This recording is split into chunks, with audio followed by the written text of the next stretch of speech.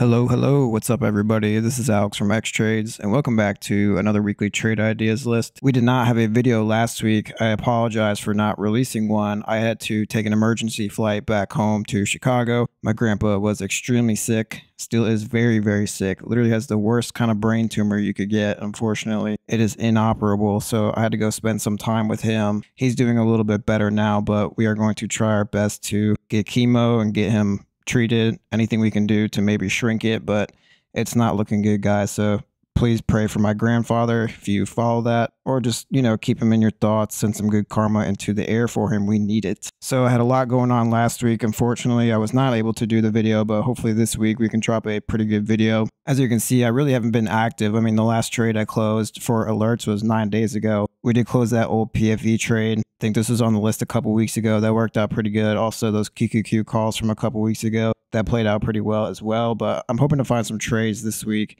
Last week, I didn't really do anything. I got back home to South Carolina on Wednesday, and then the markets got very slow Thursday and Friday, so I didn't really do much. We did take one trade on UNG.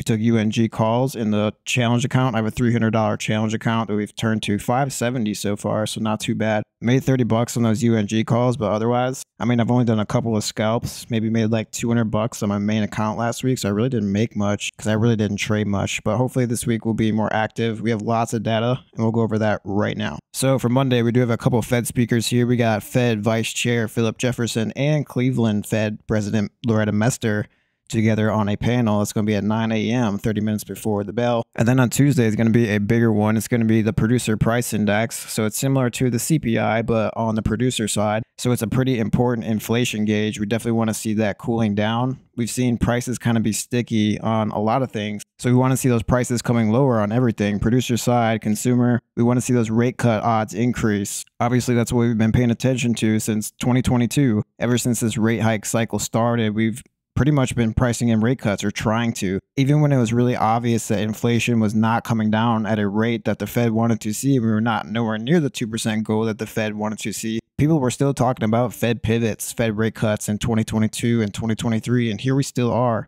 Higher for longer. Rates have not changed, and we've pretty much paused every single meeting for 2024 and a little bit for 2023 as well. So if we want to see those rate cut odds increase and we want to see, you know, one to three cuts this year by the end of the year, we need to see the Fed's inflation goal being hit, or at least a little bit closer to it on the PCE index. Even see the CPI come down as well, even though they don't use CPI for policy, they use the PCE. CPI is still very important, as well as PPI on the producer side. So Tuesday is going to be PPI, obviously. We also do have Lisa Cook speaking, another Fed member, and also Jerome Powell at 10 a.m.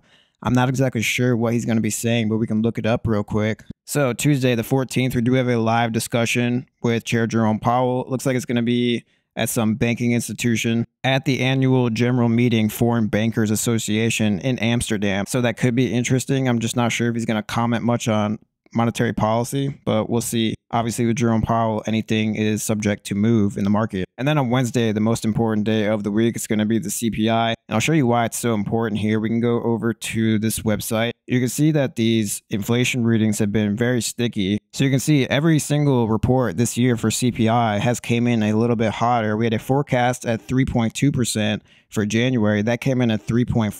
For February, we had a forecast at 2.9, coming at 3.1. For March, we had a forecast at 3.1, coming at 3.2. And our last one coming at 3.4 for the forecast. Actual was at 3.5. So all higher than expected, very sticky inflation. That's why we need to come in below this forecast of 3.4. Also, it will come below the previous at 3.5.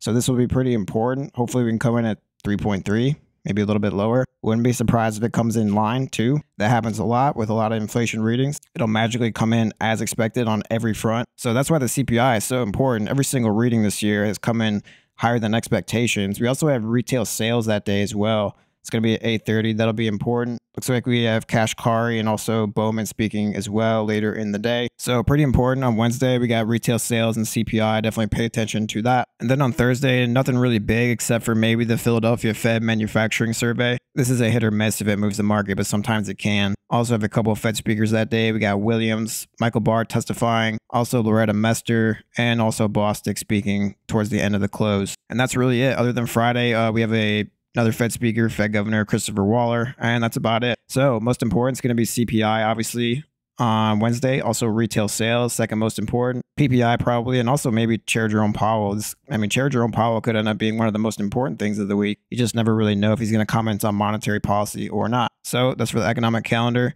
pretty stacked this week. Definitely a little bit more exciting than last week. And on to the boring seasonality this week. You can see it's very boring. Nothing really crazy here for the 13th to the 17th. We do have a monthly options expiration here, May 17th. So Friday could be a little bit volatile. Really, any of those monthly options expirations, they can really move crazy. And you'll see a lot of violent swings, you know, the first couple hours of open. And then kind of towards the end of the session, you'll start seeing it chop a lot. But I would definitely expect that volatility definitely on the 17th on Friday, especially at the beginning of the open. But otherwise, you can see that the system is backtesting short trades here. You can see that winning trades only have 40%, summarized profit at negative 3%. So nothing really crazy here. You can see there's kind of a little up thrust. So if we start at the 13th, went to that, went to that, went to that, you can see it gradually increasing up into the 16th. But that's really about it. You don't really see anything too special here. And we really haven't followed this May downside seasonality much in the last 20 years. So usually it's a sell in May and go away. That's kind of the saying for May, but we've actually had a pretty solid kind of bullish May so far. Might have had a couple hiccups, but that's about it. You can see at the end of the month is kind of when it gets a little bit bigger, about the 24th or so. You'll see that big up thrust maybe up into June, and that's about it. Otherwise, I mean, seasonality has been pretty quiet. Really haven't been following the downside or anything like that. And especially for this week, there's really not anything leaning too big here. So I wouldn't really say that the seasonality can really give us too much information here. Maybe a slight bounce if we kind of follow this three day pattern here where it slightly goes up, but nothing really special kind of sticking out. We're not really seeing like a big trend or big up thrust or big down move here for this week specifically. If we go down to 10 years though, you can see it kind of changes. We have winning trades at 70%, summarized profit at 5% with a decent up thrust here. So the last 10 years of data here, pretty good. Seven gains, three losses, pretty solid. I mean, it's most recent years definitely looking a little bit more positive here compared to the 20 year data set. But obviously, this has a little bit less data. So we could kind of go with a maybe slight bullish tilt. Obviously, it's not like a huge move or anything, but 10 year data set looking pretty good, 20 year data set looking kind of flat. So obviously, seasonality can't really give you insight into geopolitical issues or random data events, you know, Fed members talking, stuff like that. But it can give you some insight into kind of how the seasonal trend works. And lots of times it will follow the seasonal trend kind of quarter by quarter. And that's why we go over it week by week as well. Kind of give an idea of what we could maybe be going into for the week. But like I said, this week, nothing really special. The 10 year data set did look pretty good. Like I said, you had about seven winners, three losers the last 10 years to the upside here. So looking pretty solid, just nothing too crazy. And on to the setups for this week. I do only have two individual names this week. I went through 200 plus tickers. I can even show you my list here. This watch list right here is 230 almost. I go through every single one and I usually find about six or seven and I break that down into three. This time I could really only find two that I really liked for potential. And even with these, I mean, it's not like the greatest setups in the world. The market looks very slow right now especially in indexes. You can kind of see money rotating into other things, small caps, and you know, kind of stuff that's been very oversold. You can tell that Wall Street's getting a little bit bored with the indexes, and that money starts rotating into more volatile names, stuff with higher volatility, you know, small caps, stuff like that, even industrials and other sectors, healthcare, utilities, things like that. So it was a little bit quiet last week, but I mean, pretty good for the indexes. Closed up green, had a pretty nice recovery. But for Meta here, it's pretty simple. It's a 61.8 to 50% Fibonacci retracement. So from this point right here down to this point, this is your 61.8 and this is your 50% retracement. So this is now retraced 50% of the move from this high to this low after earnings. So it's had a pretty good retracement. The reason why I don't have the rest of the fibs up is because I'm only interested in the 50 and the 61.8. You could even add a 38.2 if you're feeling spicy because that's a pretty good fib as well. But right now we are at the 50 and 61.8 level, so I don't need a 38.2. So since it's already bounced 50% of the move, and it's already recovered a decent amount. Now we want to start looking for some type of rejection signal, some type of resistance. You can see we're kind of starting to close over the 921 EMA combo. So we don't really have a reversal signal yet.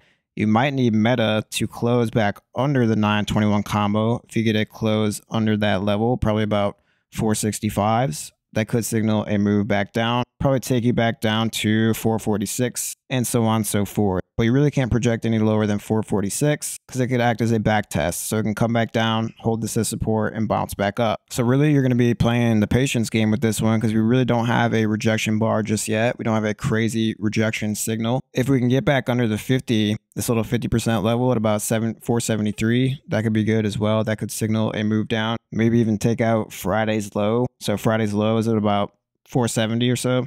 Take out Friday's low, that could definitely flush down Right now with puts, it's a little bit more sketchy because we have a very low VIX. We'll go over that later. We have VIX basically below 13 now coming up to lows, which makes things feel a lot slower.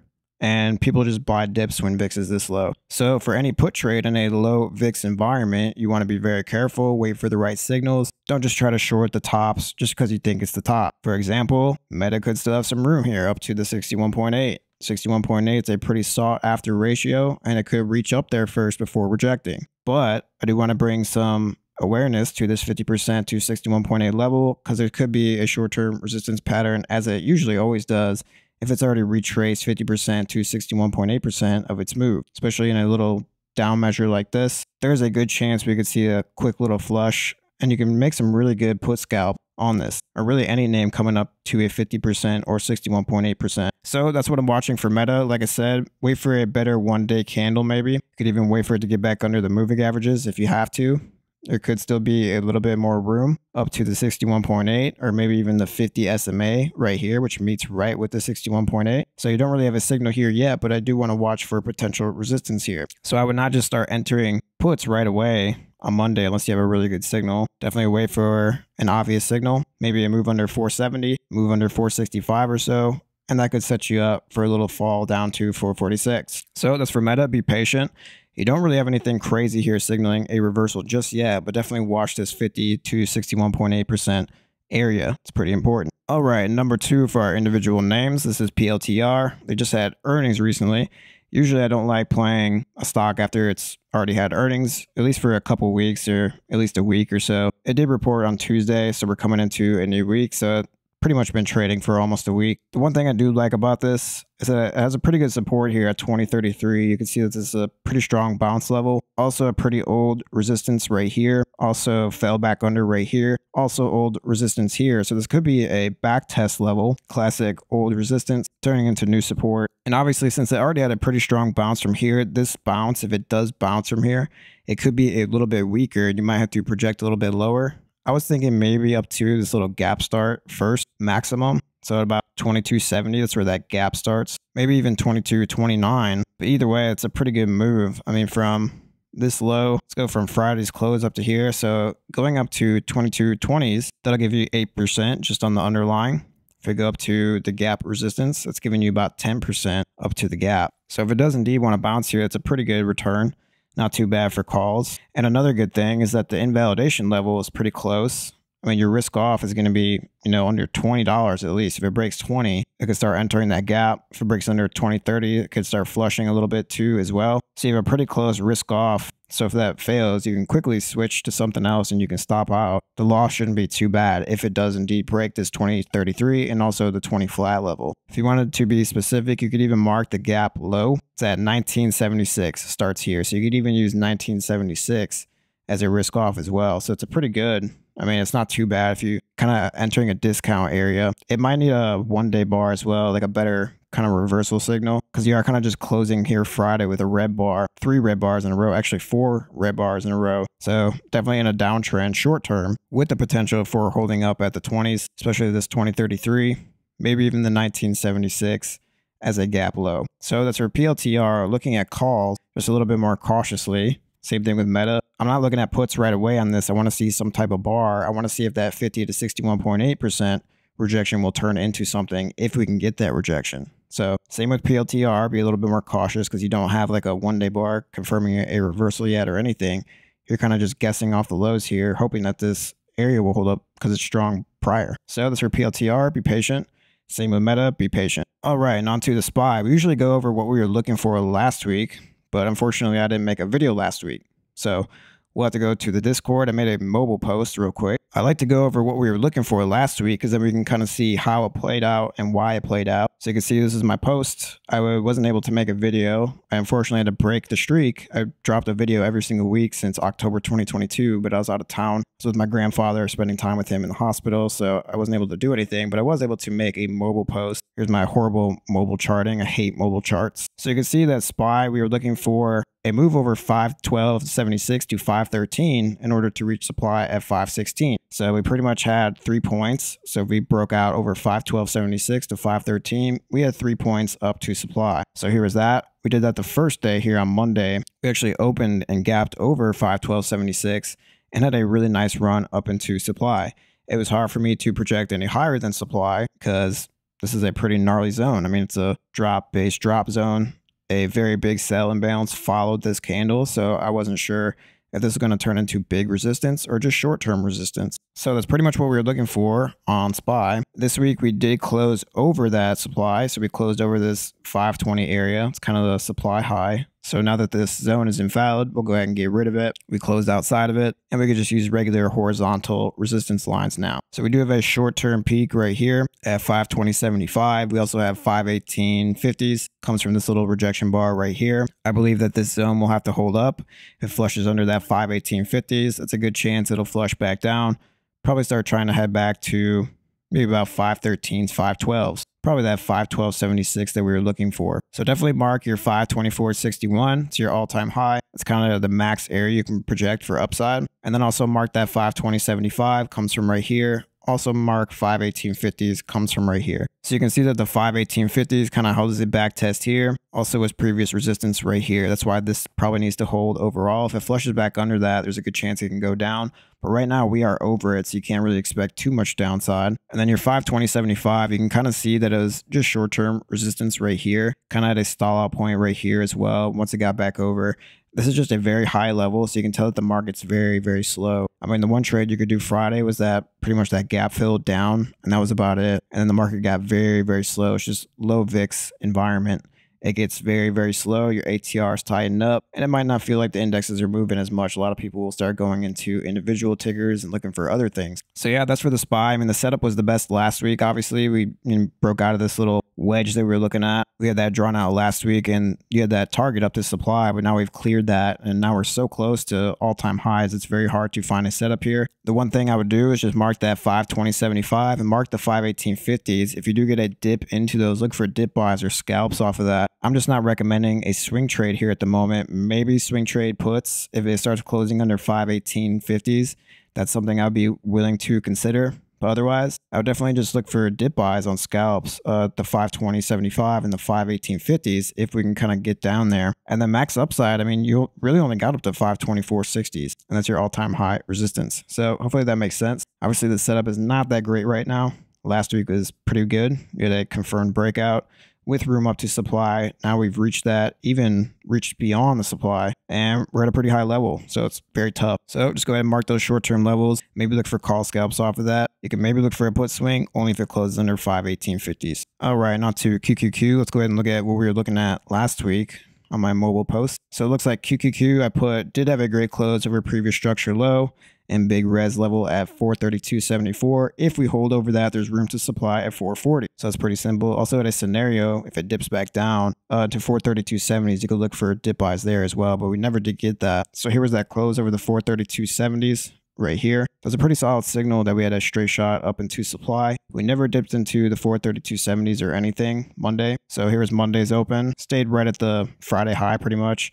and just ran straight up into supply. Also, really couldn't project any higher than this downtrend line. Test 1, test 2, test 3, small rejection. I was looking for more resistance at this area, just short-term resistance. We did not get that really. We had one little pullback from supply, and that was right here. We had a little gap down, about half a percent, nothing crazy, and we filled it back up. Came back up into supply right here, rejected supply, rejected supply right here again, and just lots of stalling out inside supply, one big gap up over the downtrend line, and then we kind of went back under it, closed back outside of it. So very tough area. I mean, there was a little bit of a setup, I guess, if you just bought the open on this downtrend breakout. You had about 15 to 30 minutes to sell, and then it's just a very big gap filled down. So very slow week. And this week, I feel like it's pretty straightforward. I mean, QQQ is still inside supply. If we do start closing back under this downtrend line with a more solid kind of one day red bar, some type of reversal signal, closing back inside this little downtrend line and closing back under this start of the supply zone about 440s. So move back under 440. It's a pretty straight shot down. I would say at least down to 432.70s. Maybe just to the little 50 EMA here, the one day 50 SMA actually. I changed the 250 to the simple moving average instead. It's just smoother. And it looks like that the 50 also meets with your 9 and 21 EMA cloud right here, this little green thing. It's your 9 and here's your 21. So you can maybe project down to that if we start closing back inside the downtrend line here. But I really don't like longs here at all. Like SPY, you're actually closing outside of supply and it's a little bit more clear. And that's why you kind of see SPY had a really good week last week and QQQ is a little bit more stagnated. So here's SPY, I mean, it's just a clear up thrust. And here's QQQ kind of stagnant, right? And I think that's because the supply here and also the downtrend line was a little bit more clear. So yeah, that's really about it. I mean, it's tough. I'm not going to probably recommend to go long or buy calls inside the supply. You'd obviously need a very clear signal over 442 or so, kind of like this. So this 442 level kind of meets with the downtrend line. So if QQQ can get over 442, you know, you could scalp up to this high day right here, but that's about it. It's kind of tough. I definitely wouldn't want to go long inside of it just because you never know if it's just going to flush inside supply. Kind of what it did right here on Friday. And also when it got up here on Thursday. Also when it got back up here on Wednesday. Uh, got up here on Tuesday. So, I mean, just very stagnant, right? It's not a very good place to dip buy unless you're buying outside the supply, you know, near the lows. So yeah, honestly, I really like the downside better here just because of the downtrend line, but really you would have to see it start closing back inside of that for me to be bearish. And that's really about it, guys. If QQQ can kind of turn into a wedge rejection here, that's a pretty good setup. And you kind of just trade back down to the moving averages, which is just a little bit lower. I mean, probably about seven to five points. So not too bad. That's about as low as I could project if we start getting back under that downtrend line. And it's just a really hard spot to go long, guys. I mean, it's very close to all-time highs. It's inside this big supply. I mean, this is a really big sell imbalance. So something happened in this big green candle to lead to this big sell imbalance, and that's why we're kind of stagnant here. Obviously, SPY worked through its pretty pretty well. I mean, SPY had a pretty good supply here and sell imbalance, and it worked through it pretty well. QQQ just a little bit more stagnant. Could be waiting on NVIDIA earnings also in 10 days, never know. And for earnings this week, we really don't have anything special. We have Home Depot on Tuesday and Walmart on Thursday, I believe, but that's really about it. You also have Sea Limited, uh, ticker symbol SE. It's a pretty nice ticker to trade. They have earnings as well. Maybe a couple others, but in terms of the big boys, it's really just Home Depot and Walmart. So yeah, that's it, guys, uh, for the indexes. We'll go over the VIX real quick. Hopefully, you don't feel like you're wasting your time watching this. I mean, I know it's the the setups just aren't that good right now, and I really couldn't give you too much. Not like last week. Last week we had a more clear breakout setup with a clear target up to supply. We just don't have that this week, so I can't really give you too much. You're definitely going to be waiting for a close back inside the downtrend to see more downside. And then for longs, it's just too hard to buy up here, honestly, inside supply. Maybe you could scalp off 442s. If QQQ keeps holding 442, you can maybe scalp up to 444. You got about two points right there, but that's about it. And on to the VIX for our last point of analysis. Our levels haven't changed. The VIX levels have always been the same. You got 1794, which is this rejection peak right here. Also at 1692, short-term peak right here. And then the 1540, which we've highlighted every single week pretty much. Multiple rejections. You got one, two, three, four, five, six bubbles here highlighting rejections for 1540. That's why I once VIX gets over 1540, it increases so fast. Also goes down very low when it gets back under 1540 as such. You also have 1367, which was a volatility signal we wanted to see weeks ago. So we had this level and we ended up breaking over that 1367 right here. And this turned into a very big push up so that 1367 was key to get back up to 1540s. I did that weeks ago. So I we marked that one. And then we also have 1237 low right here, low right here, low right here, low right here, uh, low right here. So multi-bottom low. And then your all-time low, at least for this little period right here at 1182, just this peak right here. You can find the VIX lower in past data, but right now we're focused on this period within the last year or so. So the VIX is approaching the lows. It's very, very risky to short when the VIX is this low. Unless you buy time, you want to buy 30 to 60 to 90 days of expiration. Let it fart around because you don't have any volatility. Nobody's mathematically pricing in a big move. That's why premiums are so cheap right now. I mean, zero days really aren't that bad. they're pretty cheap, as well as the 30 days to expiration, those are pretty cheap. Pretty much any any options, they're pretty cheap right now because of this low VIX. Nobody's pricing in anything. So if you really want to watch the VIX, just mark your 1237 level that we have marked and also mark your 1182. Look for it to maybe hold up here. I really wouldn't expect the VIX to go too crazy from this point unless we start breaking under 1182. That would be a huge problem. You probably see a very slow market at that point. I really would like to see it hold up here and maybe bounce back up, see a short term pullback in the market. It's good for volatility to get back up to a level. Uh, then the market will dip. VIX gets up to a certain level. You can buy the dip on SPY or QQQ. Then the VIX will fall aggressively and you'll get paid on calls pretty good just for buying that dip. So you like a little bit of volatility increase. It definitely increases the range and it, it, it, can increase your profit as well if you buy at the right spot. There's also a saying when the VIX is high, it's time to buy. When the VIX is low, take it slow. Right now, the VIX is low. And You can tell that the market's been taking it a little bit slower. At least we're getting to that point. So that's really it. I don't really have a signal here to tell you that the VIX is going to hold up yet. We don't really have a bar reacting to the lows just yet, bouncing. And we're kind of just selling. I mean, the VIX has been red for one, two, three, four, five, six, seven, eight days in a row here. Just brutal. I mean, market's been bullish. There's no fear in the market, obviously, when it comes to the VIX. And volatility is going lower, as well as ATRs are tightening up. ATR is average true range. When average true range tightens, market feels a little bit slower. I like wider ATRs. I like to be able to make, you know, one to two point moves on the SPY on the underlying because it pays pretty good on options. If you can make a dollar or two on the underlying on SPY or QQQ, it's going to make you a pretty good amount of money. And when the ATR is wide and the VIX is a little bit wider, you can make one to two points on the underlying, you know, 15 to 30 minutes. And that's why higher VIX, higher ATRs are so appealing. And that's why volatility is good for traders who are a little bit more seasoned. So that's really all I got for you guys. If the VIX does hold up here at 1237 and 1182 at these lows. Max upside, I got you up to 1367. If we break back over 1367, that takes you up to 15 and 1540. So this is kind of free space. It also kind of respects the moving averages pretty good as well. You can see it held up the 921 and the 200 right here, bounced off of that. Short-term support, bounce candle off the 200 SMA right here. And then once we lost the 921 EMA, you see that the cloud went red. Uh, we went back below and it's been trending below that since. Also a really big flush candle below the 200 SMA right here. So it works with the moving averages pretty good as well. If you want to pay attention to those, I definitely would on the VIX. But definitely mark these levels I'll have. Like I said, 1794, 1692, 1604, 1540, 1367, 1237, and 1182.